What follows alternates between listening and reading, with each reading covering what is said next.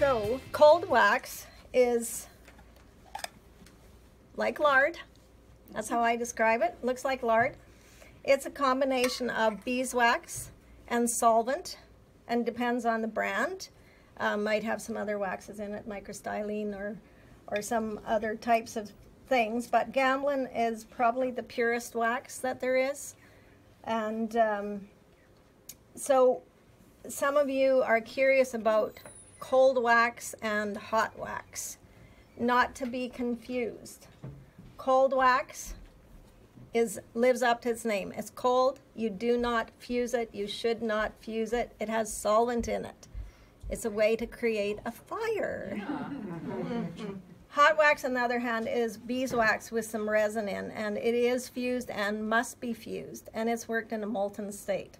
So I will pass this around so that you can take a closer look at it. It comes in lots of different sizes. Bonnie carries it here in her store, and um, she special orders for me by the gallon um, because this little container doesn't last me too long. But it's a good size to get started on. So you must mix it with oil paint. That's why it's called cold wax and oil. Um, oil and water don't mix, right? So that's the reason uh, you, you need to mix it with oil. However, yes? Can, can we mix it with water-soluble oil paint? Yes, good question. You can mix it with water-soluble oil because it's still oil paint. It's an emulsion. It's an alkyd. It means it's um, you're able to wash it with water, but it's still oil paint, so that's fine. Um, you can also mix the cold oil with other powdered uh, pigments, so just plain powdered pigment or these little mica powders, uh, graphite powder, charcoal powder, all of those things you can mix in with the, the cold wax as well. Why use cold wax? and not just straight oil paint because it's different. It's kind of more for a mixed media type of artist. Uh, a lot of artists working with it are using it more abstractly. Myself, I don't use any brushes at all, but you can. It tends to be a bit heavy for brushes, so most people using doing brushwork are adding more solvent, and the solvent is Gamvar that you would use, which is also from Gamblin. Um, so the ratio of mixing, I've already mixed some up here um, just to save some time. So um, what I do, and if I'm not sure you can see this, but I've got a blob of cold wax in the center of my palette, and then I put out my colors around it, and I mix them 50-50 approximately. That is the ratio. So I'm just going to go ahead and blend my red with the cold wax. And what happens when, when you mix it, like it, it changes the feel and the consistency of the, of the paint. It's, um, and you get to know how much you like. You can use less, you can use more too. Um, I also keep a sheet or a hardboard beside me to scrape this off. And um, just instead of wasting so many paper towels, I'm actually starting a painting there. This is a painting, it's still a little bit soft. It's in here upside down. Um, this started out like what I'm doing right now. Okay, I did it. I did it yesterday just to try and warm up. I haven't been painting much for the last bit because I've been doing markets, so uh, definitely haven't been painting with wax and oil. This is not something that friendly to take to market.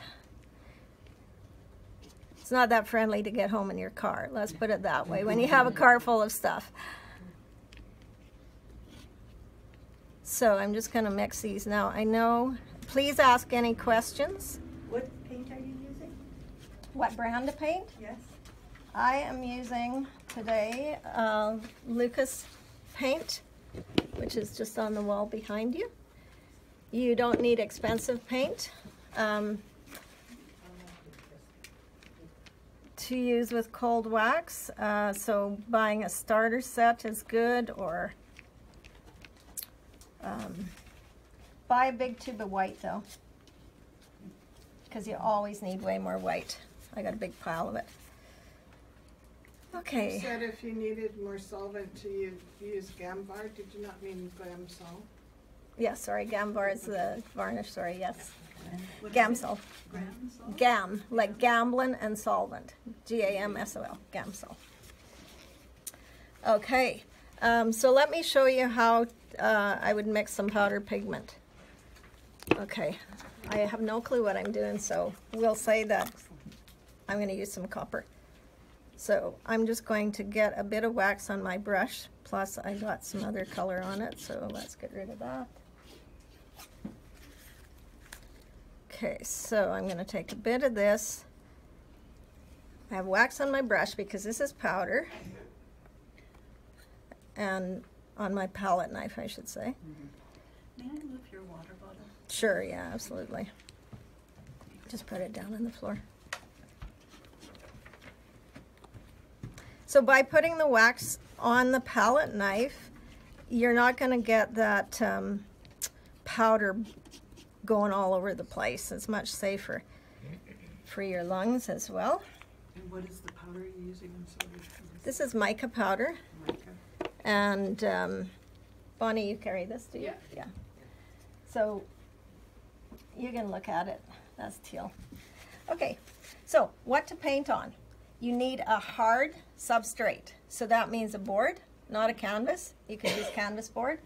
You can also use paper, and this is a good paper to choose as Arches oil paper. That's what I'll be using today. Um, you could also use 300 pound watercolor paper as well. Um, Terraskin, a heavier Terraskin paper does work, but a, a lightweight ripples. So if you're curious about what colors I put out on my palette today, I will tell you. I have yellow ochre,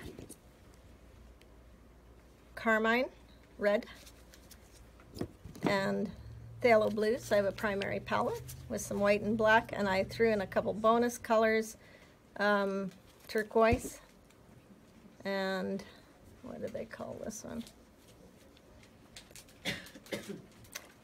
Oh, there it is. There's so many languages on here. Cinnabar green. Okay, so those are the colors that I put up. So, any questions so far? You don't need much powder, eh, for the paint? You don't need much of the paint powder, Mica? No, just mix it till it has some color. Okay, so let's talk a bit about tools. So, tools, if you're not going to um, use a brush, if you're going to work um, more intuitively, scrapers are the deal. So the Catalyst blade works really well. I like this a lot because it's ergonomic and uh, it fits in your hand nice. I pass this around, but I'm going to use it. But Bonnie has some over there on an aisle, I think. This is a Messermeister, and don't ask me to spell it, please. Messermeister uh, bowl scraper. Yeah. And uh, it works quite nice because it has a really soft edge to it. It's silicone. The only place I know to buy it is Amazon. It um, it's not ergonomic, however. It's thin, and I find my hand gets tired using it. Any of these type of catalyst blades with little notches are wonderful. Any of these color shaper brushes, which are silicone, are nice. These all work with acrylic paint too, so you can use them on both mediums. Any kind of metal tools that you might have for mark making work good. This, I believe, might be a core or something. I got it at in a bin at the used store. Um, if you're really desperate and you don't have a bowl scraper or catalyst blade, this works. I had to do a workshop, all supplies and tools included for about 20 people, and I'm like, holy crow. Can I use a credit card or, you know, card key? No, that doesn't work. So I'm like racking my brains. So I went to the dollar store and I found the spatula. And so then the important thing is the handle must be able to come out because you don't want the handle. So um, I'm frigging around in the back of the store and I was probably thinking, what is that woman doing? Putting them in her bag. anyway, this turned out to work quite well. So um, that's another another thing you could use. Um, silic- silicone type of tools from the kitchen store work nice to make marks and lines as well. And a brayer, a soft brayer comes in handy to put down paint. Bamboo skewer, one of my favorite tools, but it could be a knitting needle. Any type of thing that you can press into it for texture, uh, bottom of meat trays, carpet underlay, uh, you name it, you can use it. Bubble wrap. Now I'm going to talk a little bit about safety. This stuff has solvent in it, which means it is flammable, which means you can actually burn your studio down. It's not cool. Tin can with a lid. Pile them in there, soak them with water so they don't start a fire.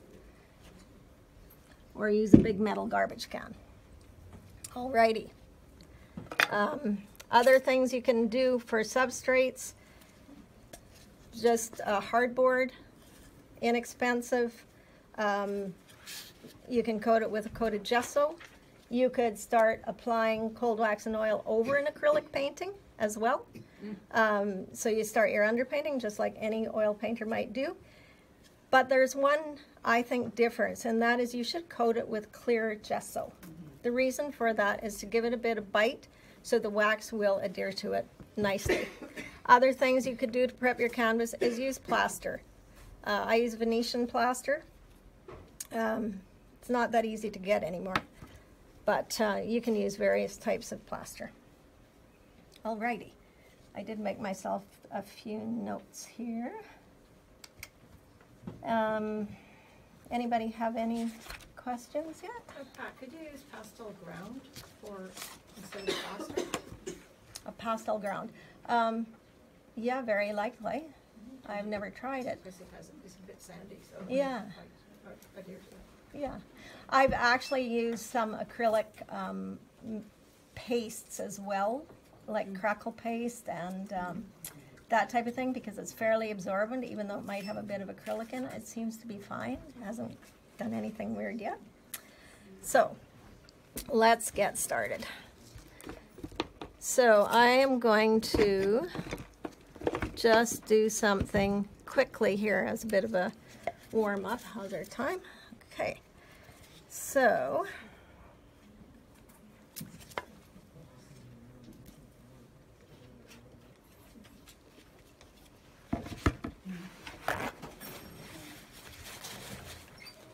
this What are you, what are you painting in there? Is it this a board? oh this this is a little board. I'm just Oh, gonna thought quickly were do doing something on. there. Um, yeah, I'm gonna do it on this, just plain board. Um, this green is just unbelievably intense. Yeah. Okay, so, um, I'm gonna mix a little bit of color over here. So do you guys know how to knock back a green? This is not so intense. Add some, add some red. Add red. Probably put a bit too much in there, so it's gonna be a little bit of a browny green, reddy green. A little bit of white to it. A little more green. Yeah, that greens out of the tube I, I very seldom use without doctoring them. So knowing how to doctor, right? Okay, so that's pretty good. And again, I'm just continuing on my mm-hmm. abstract over here as well. Okay, I'm going to use some blue. And I'm going to use, let's see, I'm going to add a bit of white to this.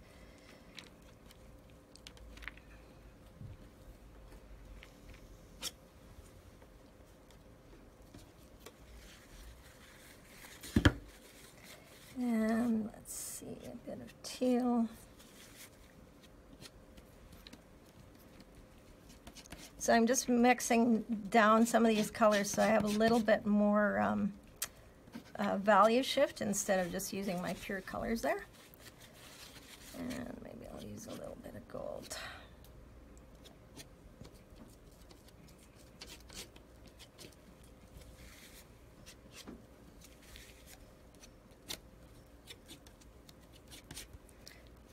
mixing color. It's kind of the boring part of the, the thing here. Okay, let's go. So I am going to start by just start putting some of this on here.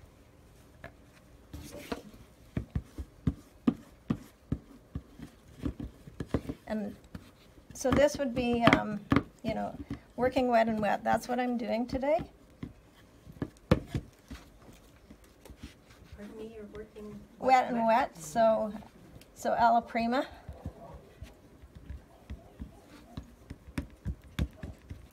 Okay, so we have this covered. Also got some on there. Was not my intention.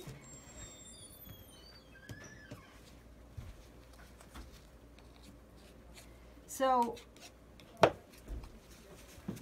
I like to use a few, I didn't bring a ton of scrapers today, but I like to have a few, few scrapers so I don't have to clean them in between. And um, then I can just keep a scraper designated for the color I'm using, and that works well.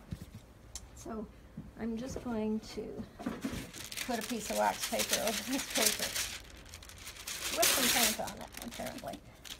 Yes, did you know that oil paint has a way of just getting everywhere? That's how it goes. Okay, so I could press some marks into this now too if I wanted. And I'm just gonna start building this up.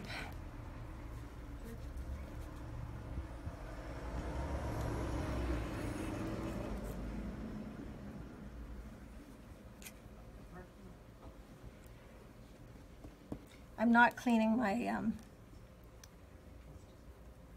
brayer in between here, or my scraper, I should say. So you can blend a lot, but you know, you can overblend too, so you gotta be careful about that.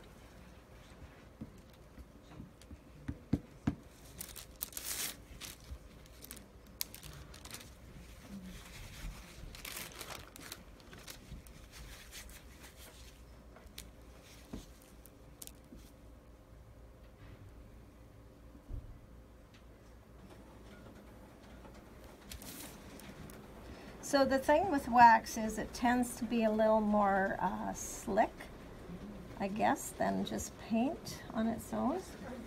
It's kind of bulked up a bit.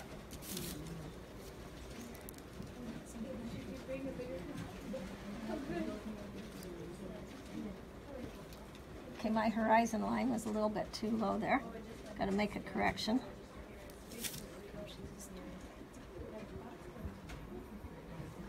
Just oil now, or have you added?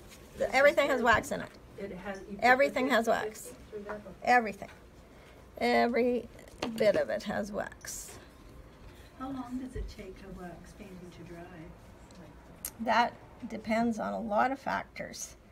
One being the humidity, um, how thick you put it on, what your ratio of wax is, um, so many things. But um, the one I passed around in the paper I did yesterday. So there's there's different uh, levels of dryness. So there's dry to the touch, and then there's dry and hard. And I'll I'll pull out a previous board that I've done to show you dry and hard. Okay, so I'm going to make a few marks in this. Just so the the first layer was blue, if you recall, and it's um, it sinks in pretty fast. So my good old trusty bamboo stick. I'm using it like a um, pencil.